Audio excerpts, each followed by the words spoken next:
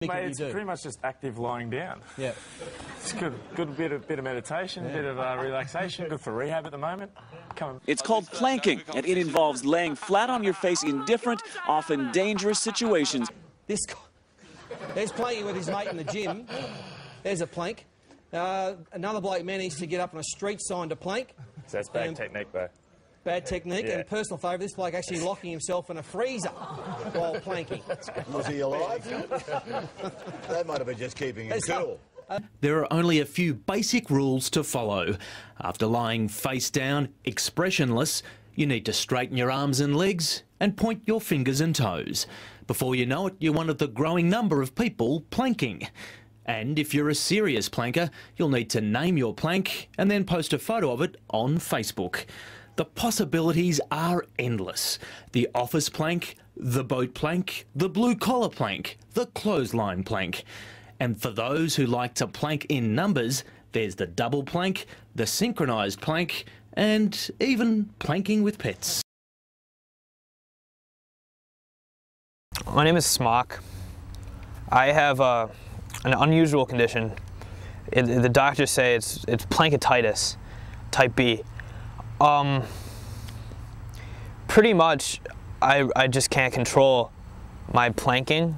I started before, right when I learned how to walk. I learned how to plank, and I just can't control it. It's one of those things. It's like a tick almost, and I just I, I have to plank and I can't if I don't plank I, I start to shake and I get really scared and it's it's just really hard Hello, is this thing on? Oh, hi. I am Jorge Molnaro. I am the best planker in all of the world. I am number one planker in Kazakhstan, in Spain, the United States, Canada, and even Mexico. I'm the best. Nobody's better than me. Planking was actually a uh, sport in the Olympic Games, first recorded in 776 BC. Um, competitors planked the top of an object, and judges held up fingers based on how good the plank was. And uh, if, if, the competitor failed to, to plank correctly, the, they were sent to the lion dens, uh, where they would be mauled to death. So it, was pretty serious back then. it just it ruins my all my relationships my friendships because I just I don't want to do anything except planking Planking was not only an Olympic sport, but it was also a way to impress a, a lover, to, to seduce a lover. Uh, a Roman by the name of Smagus once planked on top of uh, a pointy rock for three days straight just to impress his lover, and he ended up losing her love to another man. I got into planking because when I was a young kid, I was watching the show Ed, Edd, and Eddy. And the name of their piece of wood was plank. And there was this sport called planking. So I always was just walking around the house and I would try to plank in the bathtub, in my bed, on top of the kitchen counter. And I mean, sometimes I fall off, crack my head, go boom. Another time I broke my arm. It's a dangerous sport, you know.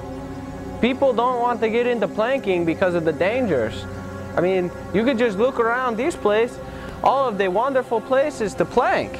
Uh, During uh, the Civil War, many years later, planking was actually seen as a tactic.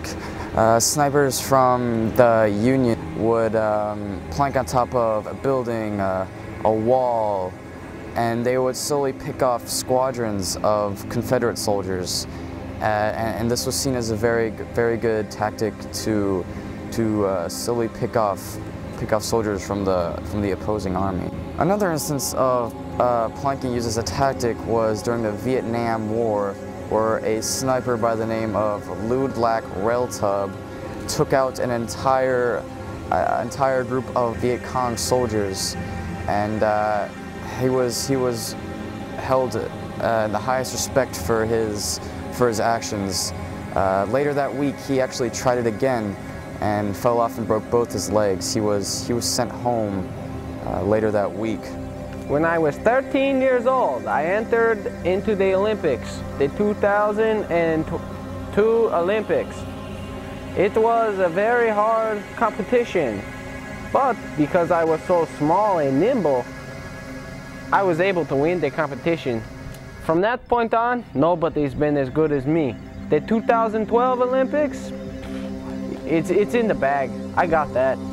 Nowadays, planking is also seen in the Olympics. Uh, Jorge Monero, aka Get On My Level, is the top planker right now. He actually won the 2002 Olympics and uh, he looks like a top competitor for 2012. If you know the sport luging for the Winter Olympics, they actually pose in a plank position when going down, going down the, the ice and uh, this, this was also originated from planking and is now seen as a very competitive sport in the Winter Olympics. So really, in my life, my main interest is planking.